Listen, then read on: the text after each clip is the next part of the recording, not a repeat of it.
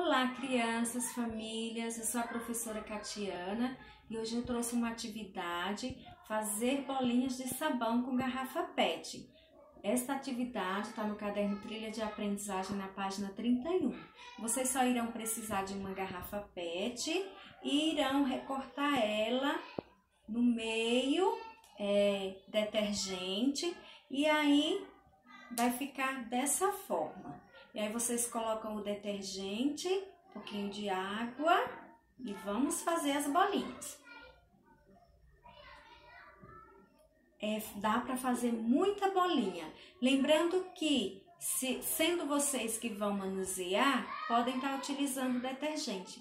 Mas se for as crianças, tem uma receita de como fazer é, no caderno Trilhas de Aprendizagem.